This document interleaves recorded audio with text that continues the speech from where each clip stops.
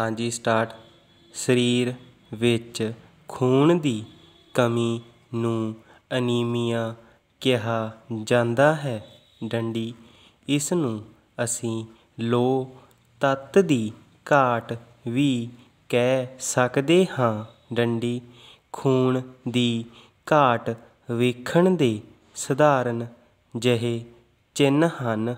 ਡੰਡੀ, ਖੂਨ ਦੇ ਇੱਕ ਤੁਪਕੇ ਦੀ ਵਿਗਿਆਨਕ ਢੰਗ ਨਾਲ ਜਾਂਚ ਕਰਕੇ ਖੂਨ ਵਿਚਲੇ ਹੋਮੋਗਲੋਬਿਨ ਦੇ ਪੱਧਰ ਦੀ ਪਰਖ ਕੀਤੀ ਜਾਂਦੀ ਹੈ, ਜਿਸ ਤੋਂ ਇਹ ਪਤਾ ਲੱਗਦਾ ਹੈ ਕਿ ਖੂਨ ਵਿੱਚ ਲੋਹ ਤੱਤ ਦੀ ਕਮੀ ਹੈ ਜਾਂ ਨਹੀਂ। ਡੰਡੀ, ਖੂਨ ਵਿੱਚ ਹੋਮੋਗਲੋਬਿਨ ਦੀ ਮਾਤਰਾ ਸੌ ਮਿਲੀਲੀਟਰ ਖੂਨ ਨੂੰ ਆਧਾਰ ਮੰਨ ਕੇ ਕੱਢੀ ਜਾਂਦੀ ਹੈ। ਡੰਡੀ ਭਾਰਤ ਵਿੱਚ ਪੁਰਸ਼ਾਂ ਵਿੱਚ ਆਮ ਤੌਰ 'ਤੇ ਤੇਰ੍ਹਾਂ ਤੋਂ ਅਠਾਰ੍ਹਾਂ ਗ੍ਰਾਮ ਹੋਮੋਗਲੋਬਿਨ ਪਾਇਆ ਜਾਂਦਾ ਹੈ। ਡੰਡੀ ਔਰਤਾਂ ਵਿੱਚ ਇਹ ਮਾਤਰਾ ਬਾਰ੍ਹਾਂ ਤੋਂ ਸੋਲ੍ਹਾਂ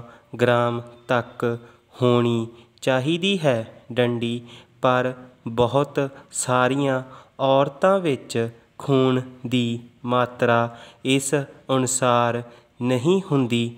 ਡੰਡੀ ਇੱਕ ਅੰਦਾਜ਼ੇ ਅਨੁਸਾਰ ਭਾਰਤ ਵਿੱਚ ਅੱਧੀਆਂ ਤੋਂ ਵੱਧ ਔਰਤਾਂ ਖੂਨ ਦੀ ਕਮੀ ਦੀਆਂ ਸ਼ਿਕਾਰ ਹਨ। ਡੰਡੀ ਸਰੀਰ ਵਿੱਚ ਲੋਹ ਤੱਤ ਦੀ ਘਾਟ ਦਾ ਪ੍ਰਮੁੱਖ ਕਾਰਨ ਖੁਰਾਕ ਦੀ ਘਾਟ ਜਾਂ ਫਿਰ ਪੌਸ਼ਟਿਕ ਖੁਰਾਕ ਦੀ ਘਾਟ ਕਿਹਾ ਜਾਂਦਾ ਹੈ। ਡੰਡੀ, ਇਹ ਮੰਨਣ ਵਾਲੀ ਗੱਲ ਹੈ ਕਿ ਔਰਤਾਂ ਵੱਲੋਂ ਆਪਣੀ ਖੁਰਾਕ ਦੀ ਪੌਸ਼ਟਿਕਤਾ ਵੱਲ ਪੂਰਾ ਧਿਆਨ ਨਹੀਂ ਦਿੱਤਾ ਜਾਂਦਾ। ਡੰਡੀ, ਪੇਟ ਭਰਨ ਲਈ ਜਾਂ ਜੀਵ ਦੇ ਸਵਾਦ ਲਈ ਜੋ ਕੁਝ ਖਾਧਾ ਜਾਂਦਾ ਹੈ ਉਸ ਨੂੰ ਪੌਸ਼ਟਿਕ ਖੁਰਾਕ ਨਹੀਂ ਕਿਹਾ ਜਾ ਸਕਦਾ।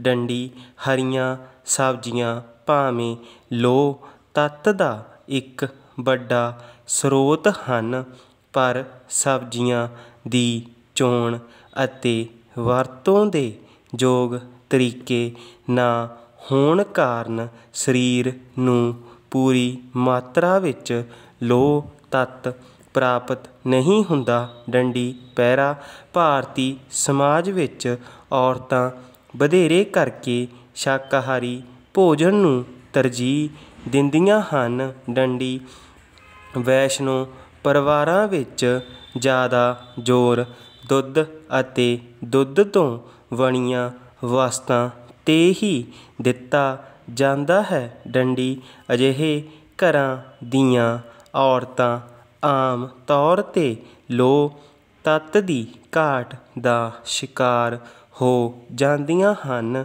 ਕਿਉਂਕਿ ਦੁੱਧ ਵਿੱਚ ਲੋਹ ਤੱਤ ਬਿਲਕੁਲ ਨਹੀਂ ਹੁੰਦਾ ਡੰਡੀ। ਇਸ ਤਰ੍ਹਾਂ ਦੁੱਧ ਇੱਕ ਸੰਪੂਰਨ ਖੁਰਾਕ ਹੋਣ ਦੇ ਬਾਵਜੂਦ ਵੀ ਇਸ ਨਜ਼ਰੀਏ ਤੋਂ ਲਾਭਦਾਇਕ ਸਾਬਤ ਨਹੀਂ ਹੁੰਦਾ ਡੰਡੀ, ਇਸ ਸੰਬੰਧ ਵਿੱਚ ਇਹ ਜ਼ਰੂਰੀ ਹੈ ਕਿ ਖਾਣ ਦੀਆਂ ਵਸਤਾਂ ਦੀ ਚੋਣ ਬੜੇ ਸੁਚੇਤ ਢੰਗ ਨਾਲ ਕੀਤੀ ਜਾਵੇ ਤਾਂ ਜੋ ਸਰੀਰ ਨੂੰ ਲੋੜੀਂਦੀ ਮਾਤਰਾ ਵਿੱਚ ਲੋਹ ਤੱਤ ਮਿਲਦਾ ਰਹੇ। ਡੰਡੀ, ਦੁੱਧ, ਦਹੀਂ, ਪਨੀਰ ਆਦਿ ਨੂੰ ਸਬਜ਼ੀ ਦੇ ਨਾਲ ਵਰਤ ਕੇ ਵਧੇਰੇ ਲਾਭ ਪ੍ਰਾਪਤ ਕੀਤਾ ਜਾ ਸਕਦਾ ਹੈ। ਡੰਡੀ, ਪਾਲਕ ਨਾਲ ਦਹੀਂ ਖਾਣੀ ਬੜੀ ਗੁਣਕਾਰੀ ਹੈ। ਡੰਡੀ, ਪਾਲਕ ਵਿੱਚ ਲੋਹ ਤੱਤ ਕਾਫੀ ਮਾਤਰਾ ਵਿੱਚ ਹੁੰਦਾ ਹੈ ਅਤੇ ਪ੍ਰੋਟੀਨ ਲੋਹ ਤੱਤ ਨੂੰ ਜਜ਼ਬ